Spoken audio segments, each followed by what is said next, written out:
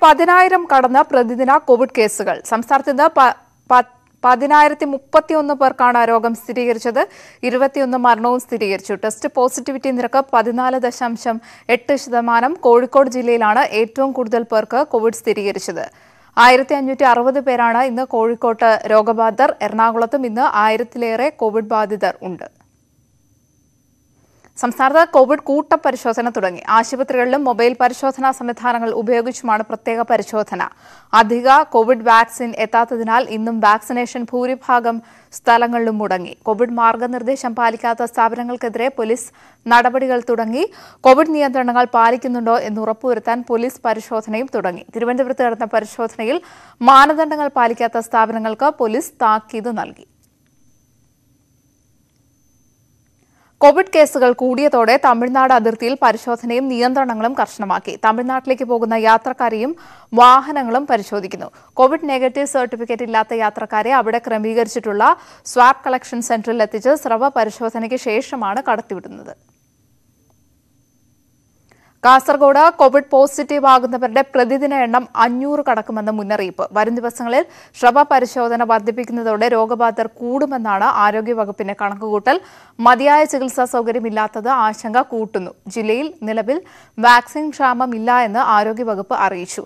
നാൽപ്പത്തി മൂവായിരം dose vaccine ആശുപത്രികളിൽ ഉണ്ട്. കഴിഞ്ഞ രണ്ട് ദിവസങ്ങളിലായി പോസിറ്റീവ് ആയവരുടെ എണ്ണം അഞ്ഞൂറ്റി അൻപത്തിരണ്ടാണ് കൂടുതൽ കേസുകൾ റിപ്പോർട്ട് ചെയ്തത് ചെറുവത്തൂർ പഞ്ചായത്തിലാണ്. ഈ മാസം അവസാനം വരെ കർശന നിയന്ത്രണം പാലിച്ചാൽ സ്ഥിതി നിയന്ത്രണ വിധേയമാകും എന്ന വിലയിരുത്തലിലാണ് ആരോഗ്യവകുപ്പ്. കൊല്ലത്ത് കിഴക്കൻ മേഖലയിലും രോഗവ്യാപനം കൂടുന്നു. കൊട്ടാരക്കരയിൽ ഏഴ് പേർക്കും നെടുവത്തൂരിൽ പതിനേഴ് പേർക്കും രോഗം സ്ഥിരീകരിച്ചു. പിറവന്തൂർ വെട്ടിക്കവല പഞ്ചായത്തുകളിൽ നിരവധി പേർക്ക് രോഗബാധയുണ്ട്. രോഗം പടരുന്നതിനാൽ ആർ ഡി ഒയുടെ നേതൃത്വത്തിലുള്ള സംഘം കൊട്ടാരക്കര നഗരത്തിൽ ബോധവൽക്കരണം നടത്തി. പത്തനംതിട്ടയിലും കോവിഡ് പ്രതിരോധ പ്രവർത്തനങ്ങൾ ഊർജിതമാക്കി. പന്ത്രണ്ടായിരത്തിനും പതിനയ്യായിരത്തിനും ഇടയിലുള്ളവർക്ക് വാക്സിൻ നൽകി വരുന്നുണ്ട്. ജില്ലയിൽ തൊണ്ണൂറ് കേന്ദ്രങ്ങളിലാണ് വാക്സിനേഷൻ നൽകുന്നത്. നിലവിൽ നാൽപ്പത്തിരണ്ടായിരം ഡോസ് സ്റ്റോക്കുണ്ട്. ജില്ലയിൽ മൂന്ന് ലക്ഷം പേർക്ക് ഇതുവരെ വാക്സിൻ നൽകി. ഇടുക്കിയിലെ അതിർത്തി ചെക്ക് പോസ്റ്റുകളിൽ കോവിഡ് നിയന്ത്രണങ്ങൾ കടുപ്പിച്ചു. അതിർത്തി കടത്തെത്തുന്നവരെ ആന്റിജൻ പരിശോധനയ്ക്ക് വിധേയമാക്കുകയാണ്. ഓരോ ചെക്ക് പോസ്റ്റുകളിലും ഇന്നും നാളെയുമായി മൂവായിരത്തി ഇരുന്നൂറ് പേരെ പരിശോധിക്കും. കുമ്മളി കമ്പംമെട്ട് ബോഡിമെട്ട് ചിന്നാർ ചെക്ക് പോസ്റ്റുകളിൽ ഇന്നും നാളെയുമായി എണ്ണൂറ് വീതം പേരെയാണ് പരിശോധിക്കുന്നത്. പെരുമാതുറ മുതലപ്പുഴയിൽ മത്സ്യത്തൊഴിലാളികളെ കാണാതായി. അഞ്ചുതെങ്ങ് കോട്ടയ്ക്ക് സമീപം പുതുവൽ സ്വദേശി സജിയാണ് കാണാതായത്. ഇന്ന് രാവിലെ മത്സ്യബന്ധന മത്സ്യബന്ധനത്തിന് ശേഷം മുതലപ്പുഴയിൽ നിന്ന് അഞ്ചുതെങ്ങിലേക്ക് പോകുന്നതിനിടെ അപസ്മാരം വന്ന വെള്ളത്തിൽ നിന്ന് കായലിൽ വീണാണ് വള്ളത്തിൽ നിന്ന് കായലിൽ വീണാണ് കാണാതായത്. അഞ്ചുതെങ്ങ് കോസ്റ്റൽ പോലീസും മറൈൻ എൻഫോഴ്സ്മെന്റും സംയുക്തമായി തെരച്ചിൽ നടത്തുന്നു. കൊല്ലം കുരിപ്പുഴ കോൺവെന്റിൽ കന്യാസ്ത്രീയെ കിണറ്റിൽ മരിച്ച നിലയിൽ കണ്ടെത്തി. പാവുമ്പ് സ്വദേശി മേബിൾ ജോസഫാണ് മരിച്ചത്. ശാരീരിക ബുദ്ധിമുട്ട് സഹിക്കാനാകുന്നില്ല എന്ന് മുറിയിൽ നിന്ന് കണ്ടെത്തിയ ആത്മഹത്യാക്കുറിപ്പിൽ പറയുന്നു. Kurippuzha Pious Workers of Saint Joseph convent വളപ്പിലെ കിണറിനുള്ളിലാണ് സിസ്റ്റർ മേബിൾ ജോസഫിന്റെ മൃതദേഹം കണ്ടെത്തിയത്. നാൽപ്പത്തിരണ്ട് വയസ്സുള്ള മേബിൾ ഇവിടെ അന്തേവാസിയായിരുന്നു. രാവിലെ പ്രാർത്ഥനയ്ക്ക് സിസ്റ്റർ എത്താത്തതിനെ തുടർന്നുള്ള അന്വേഷണത്തിൽ മുറിയിൽ നിന്ന് ആത്മഹത്യാക്കുറിപ്പ് കണ്ടെത്തി. ശാരീരിക ബുദ്ധിമുട്ട് സഹിക്കാൻ കഴിയാത്തതിനാലാണ് ജീവനൊടുക്കുന്നതെന്നും തന്റെ മൃതദേഹം കിണറിൽ ഉണ്ടാകുമെന്നും ആത്മഹത്യാക്കുറിപ്പിൽ പറയുന്നു. പോലീസും ഫയർഫോഴ്സും സ്ഥലത്തെത്തിയാണ് മൃതദേഹം പുറത്തെടുത്തത്. ഇൻക്വസ്റ്റ് നടപടികൾ പൂർത്തിയാക്കി മൃതദേഹം പോസ്റ്റ്മോർട്ടത്തിനായി മാറ്റി. ആത്മഹത്യയെന്നാണ് പ്രാഥമിക നിഗമനമെങ്കിലും കത്തിലെ കൈയക്ഷരവും മേബിളിന്റെ കൈയക്ഷരവും ഒത്തുനോക്കുമെന്ന് പോലീസ് വ്യക്തമാക്കി. കിണറ്റിലെ വെള്ളവും ശേഖരിച്ചിട്ടുണ്ട്. ന്യൂസ് എയ്റ്റീൻ കൊല്ലം. നെടുമ്പാശ്ശേരി വിമാനത്താവളത്തിൽ വീണ്ടും സ്വർണം പിടിച്ചു. തൊള്ളായിരത്തി ഇരുപത്തിമൂന്ന് ഗ്രാം സ്വർണമാണ് കസ്റ്റംസ് പിടികൂടിയത്. ദുബായിൽ നിന്ന് വന്ന ഇൻഡിഗോ വിമാനത്തിലെ യാത്രക്കാരനായ മലപ്പുറം സ്വദേശിയിൽ നിന്നാണ് സ്വർണം പിടികൂടിയത്. ശരീരത്തിൽ ഒളിപ്പിച്ചു കടത്തുകയായിരുന്നു സ്വർണം. തിരുവനന്തപുരം നെയ്യാർ ഡാം കുറ്റിച്ചില്ലെ ജ്വല്ലറി മോഷണത്തിൽ സ്ത്രീകൾ ഉൾപ്പെടെ നാലംഗ സംഘം പിടിയിൽ. മലയങ്കിഴ് സ്വദേശികളായ അനീഷ അൻഷ വിഷ്ണു ഹരീഷ് എന്നിവരാണ് പിടിയിലായത്. ഇവരിൽ മൂന്ന് മാസം പ്രായമുള്ള ഒരു കൈക്കുഞ്ഞും ഉണ്ടായിരുന്നു. ഇന്നലെ രാത്രി ഏഴരയോടെയാണ് നാലംഗ സംഘം സ്വിഫ്റ്റ് കാറിൽ വൈഗ ജ്വല്ലറിയിൽ എത്തിയത്. സ്വർണാഭരണങ്ങൾ കാണിച്ചു നൽകുന്നതിനിടയിൽ മുളകുപൊടി എറിഞ്ഞ ശേഷം സ്വർണമാലകൾ കവർന്ന് സംഘം കടന്നുകളഞ്ഞു മലയങ്കിട പോലീസാണ് സംഘത്തെ പിടികൂടിയത്. ഇവർ സഞ്ചരിച്ച വാഹനവും കസ്റ്റഡിയിൽ എടുത്തു. പ്രതികളെ കൂടുതൽ ചോദ്യം ചെയ്തു വരികയാണെന്ന് പോലീസ് വ്യക്തമാക്കി. തിരുവനന്തപുരം പാറശാലയിൽ ഭർത്താവ് ഭാര്യയെ വെട്ടിക്കൊലപ്പെടുത്തി. പാറശാല സ്വദേശി മീനയാണ് മരിച്ചത്. ഭർത്താവ് ഷാജി പാറശാല പോലീസിൽ കീഴടങ്ങി. മീനയുടെ മൃതദേഹം തിരുവനന്തപുരം മെഡിക്കൽ കോളേജ് മോർച്ചറിയിലാണ്. മദ്യപാനം ചോദ്യം ചെയ്തതിലെ പ്രകോപനമാണ് കൊലയ്ക്ക് കാരണമെന്നാണ് നിഗമനം. രക്തത്തിൽ വാർന്നുകിടന്ന മീനയെ താലൂക്ക് ആശുപത്രിയിൽ ആശുപത്രിയിലും തുടർന്ന് മെഡിക്കൽ കോളേജിലും എത്തിച്ചുവെങ്കിലും ജീവൻ രക്ഷിക്കാനായില്ല. കൊല്ലം ജില്ലയുടെ കിഴക്കൻ മേഖലയിൽ വന്യമൃഗശല്യം രൂക്ഷമാകുന്നു. കഴിഞ്ഞ ദിവസം കാട്ടാനകൾ വ്യാപകമായിട്ടാണ് കൃഷി നശിപ്പിച്ചത്. ആര്യങ്കാവ് ഗ്രാമപഞ്ചായത്തിലെ ഇരുളൻകാട് നെടുമ്പാറ തുടങ്ങിയ പ്രദേശങ്ങളിലാണ് കാട്ടാന കൃഷി നശിപ്പിച്ചത്. വാഴ തെങ്ങ് റബ്ബർ മരച്ചിനി ഉൾപ്പെടെ നിരവധി കാർഷിക വിളകൾ നശിപ്പിച്ചു. ജില്ലയുടെ കിഴക്കൻ മേഖലയിൽ വന്യമൃഗശല്യം മൂലം നാട്ടുകാർ വലിയ ബുദ്ധിമുട്ടാണ് നേരിടുന്നത്. കർഷകർക്ക് കൃഷി ഉപേക്ഷിക്കേണ്ട സാഹചര്യമാണെന്നാണ് പരാതി. പകൽ സമയം പോലും വീടിന് പുറത്തിറങ്ങാൻ ഭയമാണെന്ന് നാട്ടുകാർ പറയുന്നു. കഴിഞ്ഞ ദിവസമാണ് കാട്ടാനയുടെ ആക്രമണം ഉണ്ടായത് ഈ അക്രമത്തിൽ വലിയ തോതിലുള്ള കൃഷി നഷ്ടമാണ് സംഭവിച്ചിട്ടുള്ളത്. ഈ മേഖലയിൽ വലിയ തോതിലുള്ള വന്യമൃഗ ശല്യമാണ് ഉണ്ടായിക്കൊണ്ടിരിക്കുന്നത്. കർഷകർക്ക് ഒരു തരത്തിലും മുന്നോട്ട് പോകാൻ കഴിയാത്ത സാഹചര്യമാണ് നിലനിൽക്കുന്നത്. കർഷകർക്ക് അടിയന്തരമായി നഷ്ടപരിഹാരം ലഭ്യമാക്കുന്നതിന് വനംവകുപ്പും കൃഷിവകുപ്പും തയ്യാറാകണമെന്നും ആവശ്യമുണ്ട്. നിരന്തരം ആന ഇറങ്ങുന്നതിനാൽ തെന്മല വാലി എസ്റ്റേറ്റിലെ തൊഴിലാളികൾക്ക് ജോലിക്ക് പോകാൻ പോലും സാധിക്കുന്നില്ല. News eighteen Thenmala. കൊല്ലം പന്മന കാട്ടിൽ മേക്കാതിൽ ദേവി ക്ഷേത്രത്തിലെ ഗജമണ്ഡപ സമർപ്പണം നടന്നു. ക്ഷേത്രം തന്ത്രി വി പി ഉണ്ണികൃഷ്ണന്റെ മുഖ്യ കാർമ്മികത്വത്തിൽ ശിവഗിരി മഠാധിപതി വിശുദ്ധാനന്ദ സ്വാമികളാണ് ഗജമണ്ഡപം സമർപ്പിച്ചത്. ചടങ്ങിനോടനുബന്ധിച്ച് മട്ടന്നൂർ ശങ്കരൻകുട്ടി മാരാരുടെ നേതൃത്വത്തിൽ ട്രിപ്പിൾ തായമ്പക അരങ്ങേറി. സമർപ്പണ സമ്മേളനത്തിൽ ചലച്ചിത്ര താരം നവ്യ നായർ ഭദ്രദീപം തെളിയിച്ചു.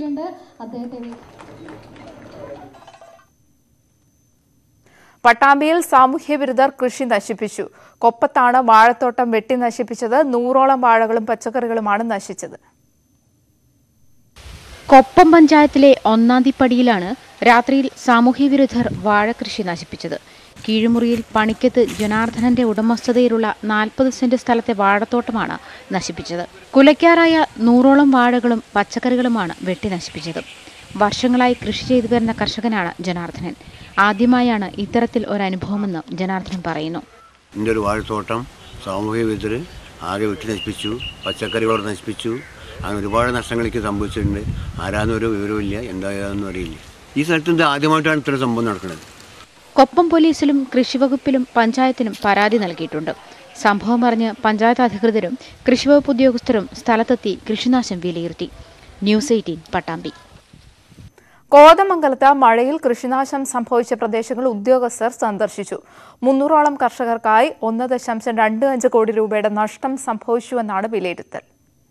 ഇക്കഴിഞ്ഞ ദിവസങ്ങളിലുണ്ടായ കനത്ത കാറ്റിലും മഴയിലും കോതമംഗലം മുനിസിപ്പാലിറ്റിയിലും പിണ്ടിമന കീരമ്പാറ കവളങ്ങാട് പഞ്ചായത്തുകളിലും വ്യാപകമായി കൃഷിനാശം സംഭവിച്ചിരുന്നു. കൃഷി ഉദ്യോഗസ്ഥർ സ്ഥലത്ത് സന്ദർശനം നടത്തി. കൃഷി അസിസ്റ്റന്റ് ഡയറക്ടർ വി പി സിന്ധുവിന്റെ നേതൃത്വത്തിലുള്ള സംഘമാണ് കൃഷിയിടങ്ങളിൽ സന്ദർശനം നടത്തിയത്. കോതമംഗലം പ്രദേശത്തുള്ള പ്രത്യേകതയാണ് ഒരു ചെറിയ കാറ്റ് വീശുമ്പോൾ തന്നെ ഒരു ഈ മലയോര മേഖലകളായതുകൊണ്ട് തന്നെ വളരെ നാശനഷ്ടം കൃഷിയെ ബാധിക്കുന്നുണ്ട്.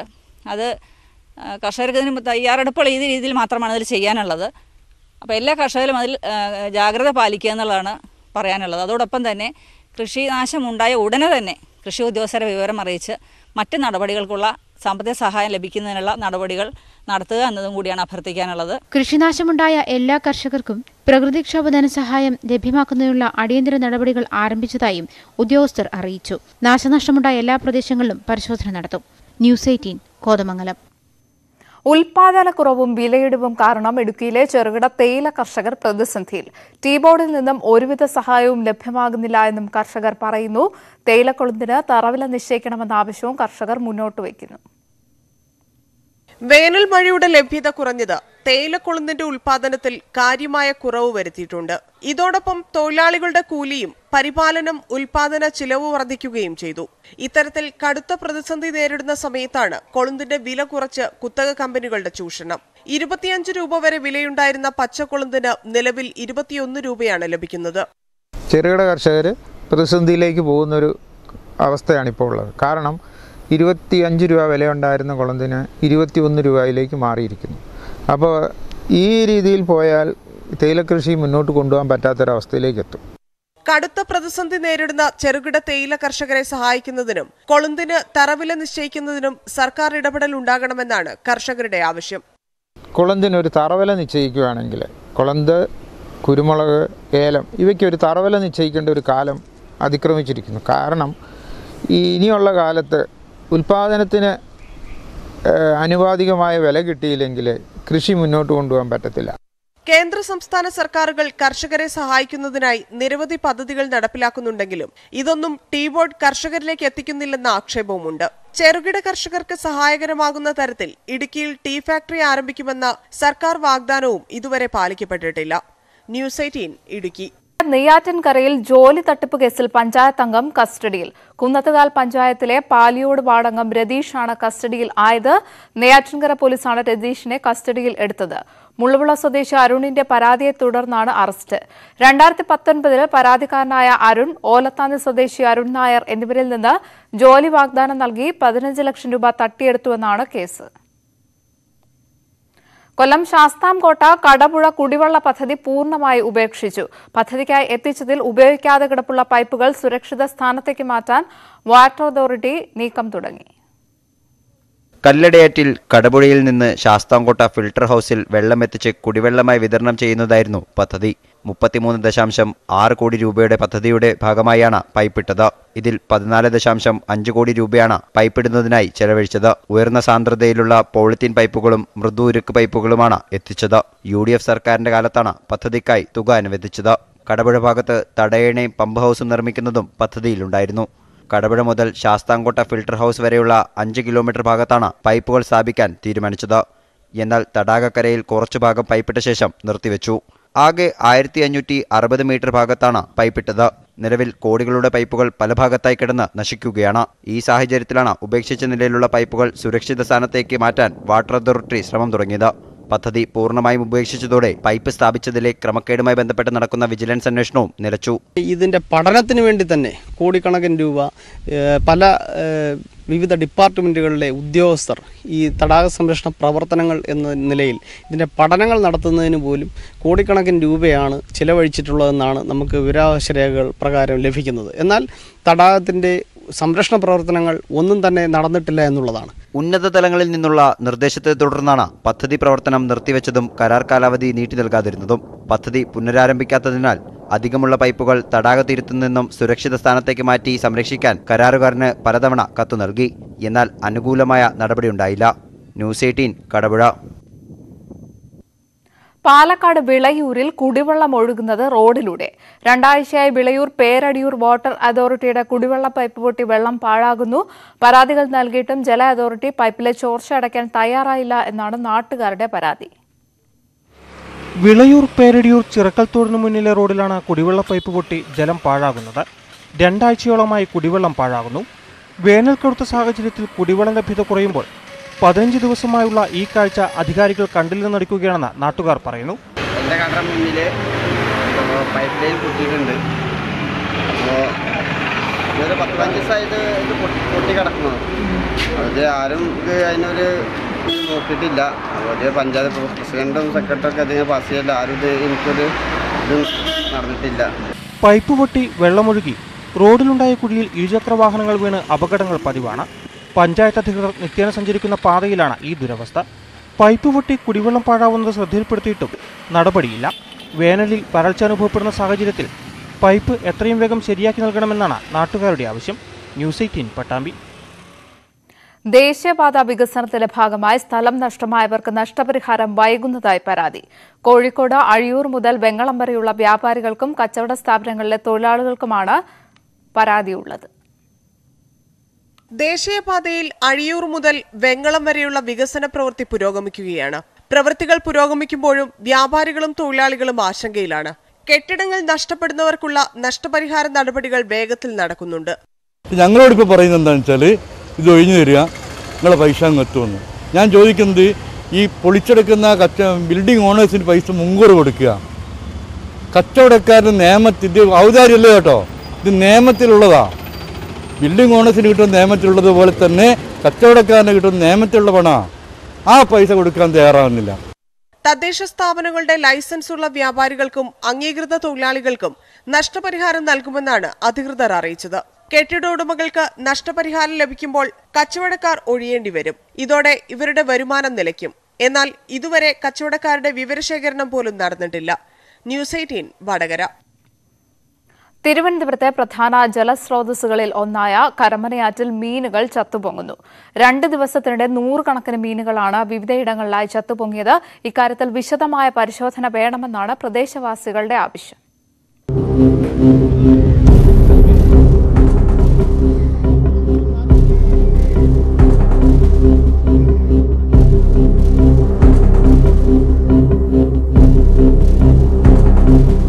കഴിഞ്ഞ ദിവസങ്ങളിലുണ്ടായ കനത്ത മഴയ്ക്ക് പിന്നാലെയാണ് കരമനയാറിൽ മീനുകൾ ചത്തുപൊങ്ങാൻ തുടങ്ങിയത്. തമലം മുടവൻമുകൾ കരമന ഭാഗങ്ങളിലാണ് ഏറ്റവും കൂടുതൽ മീനുകൾ ചത്തുപൊങ്ങിയത്. ആറ്റിലുള്ള മറ്റ് ജീവികളും ചാവുന്നുണ്ട്. കരമനയാറിൽ ആദ്യമായിട്ടാണ് ഇത്തരം പ്രതിഭാസമെന്ന് തീരവാസികൾ പറയുന്നു. ചെറിയ ചെറിയ മീനുകൾ വലിയ മീനുകൾ വരാൽ പോലത്തെ മീനുകൾ ആമ അങ്ങനെ ഈ വിധത്തിലുള്ള എല്ലാം ഇങ്ങനെ ചത്ത് പൊങ്ങിക്കൊണ്ടിരിക്കുകയാണ് ഇതെന്താണെന്നറിയില്ല. ഇതിൽ നിന്നാണ് വാട്ടർ അതോറിറ്റി വെള്ളമൊക്കെ പമ്പ് ചെയ്യുന്നത്. ഇതിൽ നിന്ന് രണ്ട് മൂന്ന് പമ്പിങ് സ്റ്റേഷനുണ്ട്. അപ്പോൾ ഈ വെള്ളമാണ് തിരുവനന്തപുരം മൊത്തം ഉപയോഗിക്കുന്ന വെള്ളം കരമനാറ്റിലെ വെള്ളമാണ്. മത്സ്യങ്ങളടക്കം ചത്തുപൊങ്ങിയത് കടുത്ത ദുർഗന്ധം പരക്കാൻ കാരണമായിട്ടുണ്ട്. തലസ്ഥാനത്തിന്റെ പ്രധാന ജലസ്രോതസ്സുകളിലൊന്നാണ് കരമനയാർ. മീനുകൾ ചത്തുപൊങ്ങുന്നതിനെക്കുറിച്ച് വിശദമായ അന്വേഷണം വേണമെന്നാണ് ആവശ്യം. എന്താണ് കാര്യം എന്നുള്ളത് കണ്ടുപിടിക്കണം. അപ്പോൾ ഇറിഗേഷൻ അറിയിച്ചിട്ടുണ്ട്. അതുപോലെ തന്നെ നമ്മൾ കളക്ടറേറ്റിൽ വിളിച്ച് പറഞ്ഞിട്ടുണ്ട്. അപ്പോൾ അവർ വന്ന് നോക്കാം എന്ന് പറഞ്ഞിട്ടുണ്ട്. എന്താണെന്ന് അറിയില്ല ഈ ഒരു മൂന്ന് ദിവസമായിട്ട് തുടരുന്ന ഒരു പ്രതിഭാസമാണെന്നാണ് പറയുന്നത് ആശങ്ക പരിഹരിക്കാൻ നടപടി വേണമെന്നാവശ്യപ്പെട്ട് ജില്ലാ കളക്ടർക്കും മേയർക്കും പ്രദേശവാസികൾ നിവേദനം നൽകി. News eighteen Thiruvananthapuram. ഇടുക്കി ചിന്നക്കനാലിലെ ആദിവാസി പുനരധിവാസ പദ്ധതിയിലെ കോടികളുടെ അഴിമതി കേസ് ഉദ്യോഗസ്ഥർ അട്ടിമറിക്കുന്നുവെന്ന് ആരോപണം. രണ്ടായിരത്തി പതിനെട്ടിലാണ് ആളില്ലാ കോളനികളിൽ കോടികളുടെ വികസനം നടത്തിയെന്ന് കാണിച്ച് ഫണ്ട് തട്ടിപ്പ് നടത്തിയതിന്റെ വിവരാവകാശ രേഖകൾ പുറത്തുവന്നത്. ഇതിനുശേഷം ജോയിന്റ് ഡയറക്ടറും വിജിലൻസും അടക്കം അന്വേഷണം നടത്തിയെങ്കിലും തുടർ നടപടികൾ ഉണ്ടായില്ല. രണ്ടായിരത്തി മൂന്നിലാണ് ആദിവാസി പുനരധിവാസ പദ്ധതി പ്രകാരം ചിന്നക്കനാൽ സിംഗുകണ്ടം മുന്നൂറ്റിയൊന്ന് കോളനി എന്നിവിടങ്ങളിലായി ഒരേക്കർ വീതം സ്ഥലം നൽകി അഞ്ഞൂറ്റിയാറ് കുടുംബങ്ങളെ പുനരധിവസിപ്പിച്ചത്. എന്നാൽ കാട്ടാനശല്യം രൂക്ഷമായ പ്രദേശത്തു നിന്നും ആദിവാസി കുടുംബങ്ങൾ വീടും സ്ഥലവും ഉപേക്ഷിച്ച് മറ്റു മേഖലകളിലേക്ക് പോയി. അഞ്ഞൂറ്റിയാറിൽ ഇരുന്നൂറ്റി തൊണ്ണൂറ്റിമൂന്ന് കുടുംബങ്ങളും ഇവിടെ നിന്നും പോയതാണ് രണ്ടായിരത്തി പതിനെട്ടിലെ വിവരാവകാശ രേഖ വ്യക്തമാക്കുന്നത്. മുന്നൂറ്റിയൊന്ന് കോളനിയിൽ ഇനി ആകെയുള്ളത് പതിനാല് കുടുംബങ്ങൾ മാത്രം. എന്നാൽ ആളില്ലാത്ത ഈ മേഖലയിൽ വീടുകളും കുടിവെള്ളവും അടക്കമുള്ളവയുടെ വികസനം നടത്തിയെന്ന് കാണിച്ച് കോടികൾ തട്ടിയെടുത്തെന്നായിരുന്നു പരാതി. പണി തീരാതെ ഉപേക്ഷിച്ച വീടുകൾ പോലും നിർമ്മാണം പൂർത്തിയാക്കിയതായി കാണിച്ച് ഫണ്ട് മാറിയതായി വിവരാവകാശ രേഖ വ്യക്തമാക്കുന്നു. ഇതിനെതിരെ അന്ന് പട്ടികവർഗ ഏകോപന സമിതി പരാതി നൽകുകയും ജോയിന്റ് ഡയറക്ടർ നേരിട്ടെത്തി അന്വേഷണം നടത്തുകയും ചെയ്തു. രണ്ടു വർഷം പിന്നിട്ടിട്ടും നടപടി സ്വീകരിക്കാത്തതിനെതിരെ നിയമ നടപടികളുമായി മുന്നോട്ടു പോകുമെന്ന് പട്ടികവർഗ ഏകോപന സമിതി ജില്ലാ പ്രസിഡന്റ് വിൽസൺ വ്യക്തമാക്കി. കോടികളുടെ അഴിമതിയാണ് നടത്തിയിരിക്കുന്നത്. അത് ആ ഉദ്യോഗതലത്തിൽ ആ, ഞങ്ങൾ പരാതി സംഘടനാപരമായിട്ട് പട്ടികവർഗ ഏകോപന സമിതിയുടെ പേരിൽ പരാതി കൊടുത്ത് പട്ടികവർഗ ഏകോപന സമിതി ആയിട്ട് സംഘടനയായിട്ട് ഞങ്ങൾ പരാതി ജോയിന്റ് ഡയറക്ടർക്ക് പരാതി കൊടുത്തു. ആ പരാതി തന്നെ വിജിലൻസിനും കൊടുത്തിട്ടുണ്ട്. എന്നിട്ടും ഇതുവരെ ഉദ്യോഗതലത്തിൽ ഒന്ന് അന്വേഷിച്ച് പോയതല്ലാതെ ഒരു അന്വേഷണവും ഒരു നടപടി ഇതുവരെ ഉണ്ടായിട്ടില്ല.